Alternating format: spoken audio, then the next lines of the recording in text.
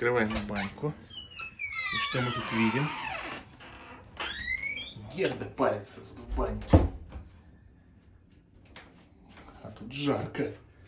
Какая у нас тут температурка-то? 84 градуса. И смотрите. Собакин-барабакин тут довольный такой.